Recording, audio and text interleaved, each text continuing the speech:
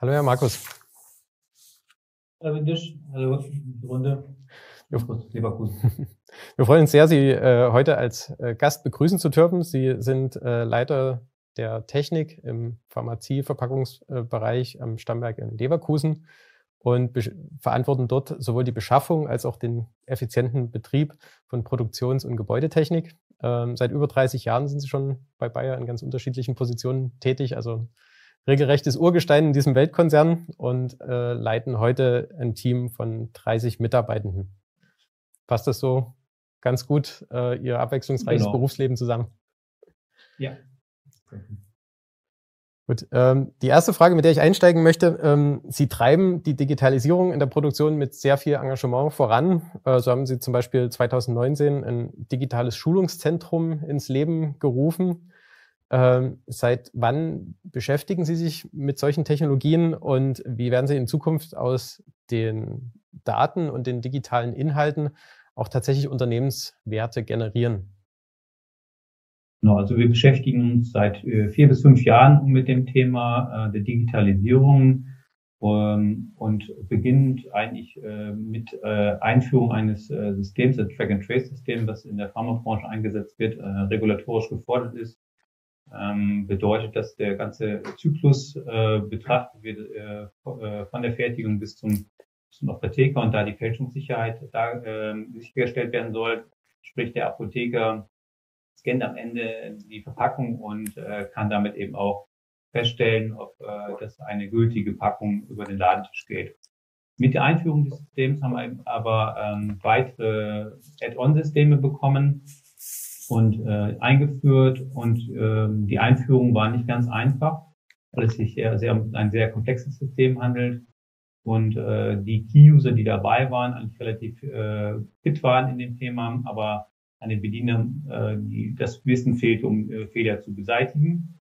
Ähm, und daraufhin hatten wir eben die Aufgabe, die Effizienz wieder zu steigern. Und eine Antwort war eben äh, das, Digital, das äh, digitale Schulungszentrum, wo wir eben äh, eine physische Anlage aufgebaut haben, aber eben auch auf Techniken wie das VR-Training zurückgegriffen haben und uns damit beschäftigt haben, wie bekommen wir Wissen ähm, das generiert wird äh, aus Projektphasen an die Mitarbeiter, dass sie dann eben die Fehler auswerten können und äh, so eben wieder die, die Effizienz der Maschinen hochzutreiben. Also, und wir haben eben damit ein Umfeld geschaffen, wo wir eben auch Dinge testen können und Mitarbeiter außerhalb des regulierten Umfelds trainieren können.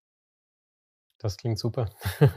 ist auch, ich durfte es ja selbst schon ausprobieren, eine, eine sehr spannende Einrichtung, äh, was man dort an mhm. Technologien auf engstem Raum gebündelt erleben kann. Ja, wahrscheinlich haben Sie schon damals, als äh, das Ganze seinen Anfang genommen hat, geahnt, dass das durchaus eine Herausforderung sein kann, diese neuen Werkzeuge einzuführen. Ähm, aufgrund verschiedener Randbedingungen. Bayer ist ein riesiger Konzern. Ähm, es gibt den hochsensiblen Pharmaziebereich, ähm, der bestimmt äh, manche Dinge auch nicht unbedingt einfacher macht. Ähm, was waren Ihrer Meinung nach auf dem bisherigen Weg äh, die größten Herausforderungen, die Ihnen begegnet sind? Ja, die Pharmabranche ist doch relativ konservativ, äh, weil wir natürlich die wenig von den Prozessen abweichen können, die wir im Zulassungsprozess festgelegt haben. Ähm, das heißt, wir hatten damit auch schon zu kämpfen, dass die Maschinen gar keine äh, Anbindung hatten, irgendwelche Netzwerke, die Daten nicht verfügbar waren. Da äh, galt es eben, die Systeme aufzubauen, ähm, zum einen und zum anderen die Mitarbeiter heranzuführen in die neuen Technologien, und gerade die äh, digitale Transformation versucht man ein bisschen auf die technische Ebene zu schieben, aber es ist eben auch, die Mitarbeiter müssen mitgenommen werden, damit die äh, die Systeme auch einsetzen können. Und da galt es eben, die äh, gleich zu Beginn äh, mit abzuholen und äh, gewisse andere Stakeholder, wir haben, wir haben gerade äh, im Vortrag auch die Betriebsräte äh, erwähnt, die galt es eben auch abzuholen Dazu noch äh, neues Thema, das jetzt äh, kommt, IT-Sicherheit, äh, immer, das immer weiter äh, an, ähm, ja, immer an Bedeutung gewinnt und eben damit implementiert werden muss. Das heißt also, Daten sollen auf der einen Seite sehr sicher äh, sein in Anlagen, sollen aber gleichzeitig eine hohe Verfügbarkeit haben in, in anderen Systemen. Und ähm, das galt es eben abzubilden. Und das waren doch einige Herausforderungen. Ja. Und sind es immer noch. ja.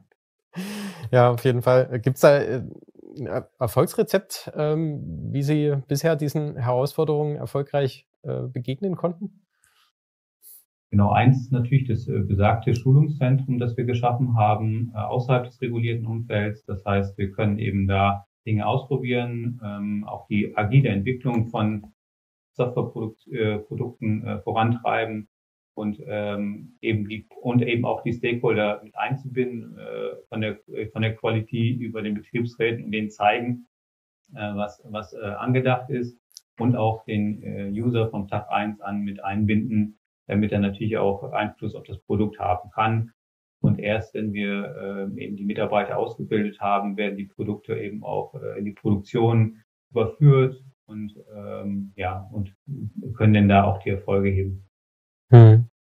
Ich kann mir vorstellen, dass das dann auch äh, für die Leute oft herausfordernd ist, weil sich eben gerade im Bereich der Digitalisierung die Randbedingungen so schnell ändern. Ne? Ähm, Grenzen, Produkte, Unternehmen und so weiter äh, verschieben sich, wer, wer dort äh, die neuesten Technologien hat, wer, wer die entsprechenden Player sind. Ähm, jetzt wissen wir ja, dass Sie durchaus auch gerade in diesem Kontext Schulungszentrum als großer Konzern mit kleinen Startups auch zusammenarbeiten. Ähm, wie, wie funktioniert da Ihrer Meinung nach die Zusammenarbeit ähm, bei diesen sehr unterschiedlich großen und unterschiedlich funktionierenden Playern? Ähm, Gibt es da Herausforderungen, ähm, Erfolgsrezepte, Best-Practice-Geschichten, die Sie uns erzählen können?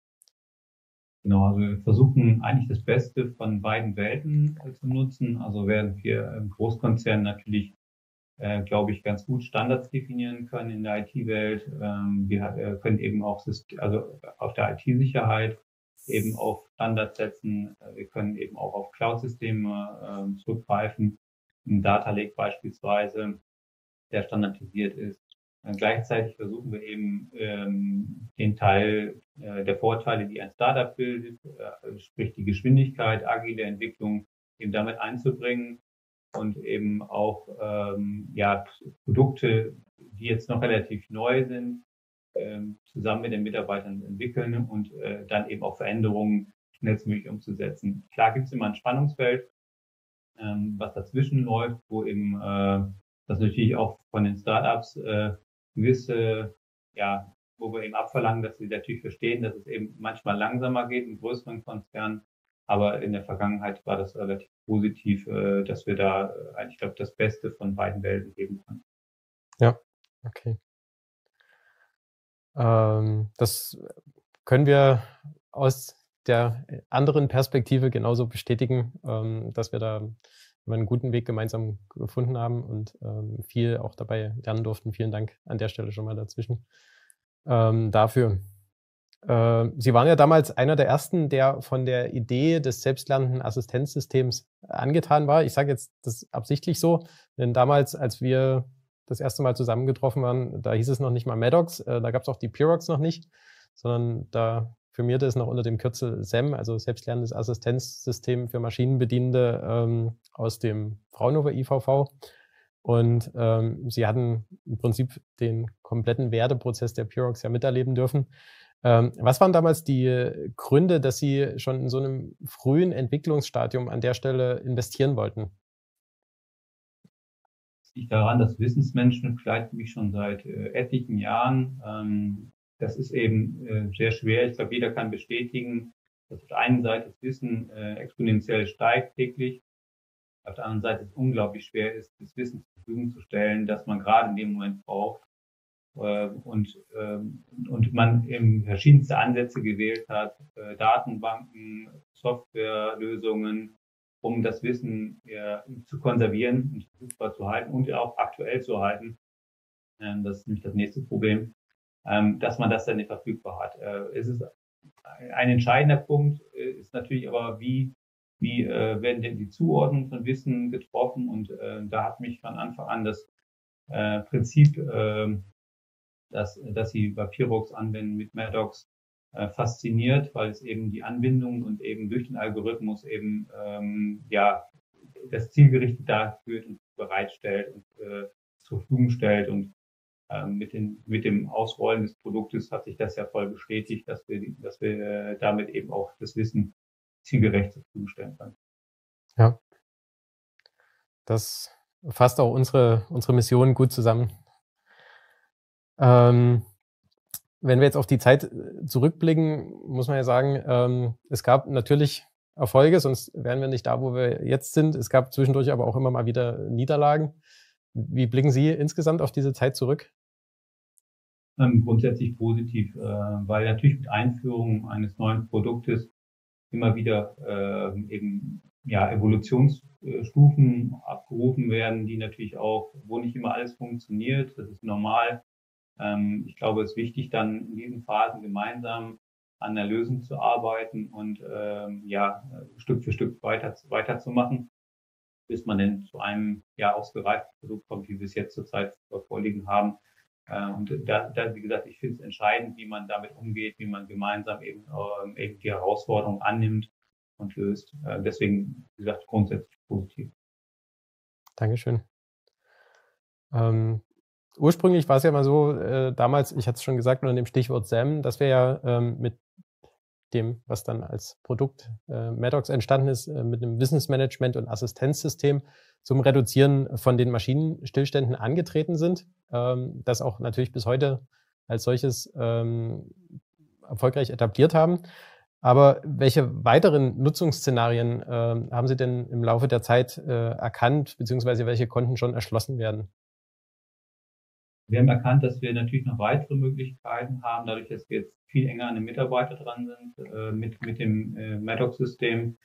Äh, wir haben in der Vergangenheit eben große Verluste äh, eben generiert durch sogenannte Microstops.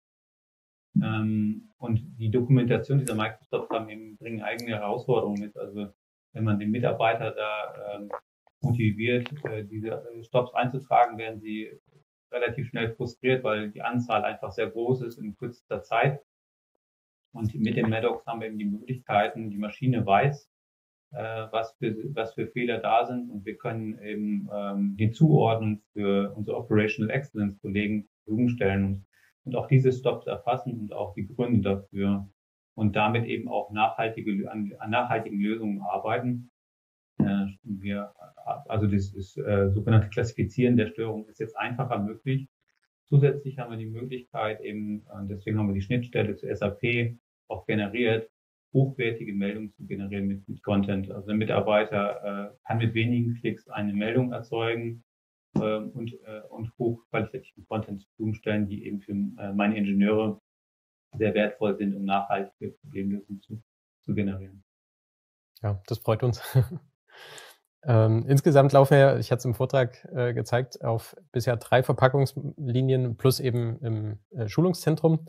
Äh, dank Ihrem Vertrauen rüsten wir jetzt äh, Maddox noch an fünf weiteren Linien nach.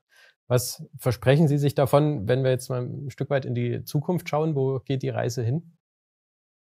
Genau, wir nutzen jetzt ja schon an einem Line-Cluster die, die äh, Maddox und äh, können also das Wissen, das an einer Maschine generiert wird, in den zwei äh, weiteren Anlagen auch nutzen. Äh, mit dem Ausweiten ähm, auf weitere Maschinen haben wir natürlich da auch die Effekte, dass wir auch da die dieses Wissen, das wir generieren an, an Maschinen, eben auch verteilen können und damit eben auch die Erfolge, die wir an den drei Maschinen jetzt äh, erreicht haben, ähm, auch da ähm, ja, skalieren auf weitere Anlagen und, und, und da auch den, den Nutzen daraus ziehen und, ähm, und eben auch, auch datengetriebene äh, Entscheidungen treffen. Vielen Dank. Wir freuen uns drauf.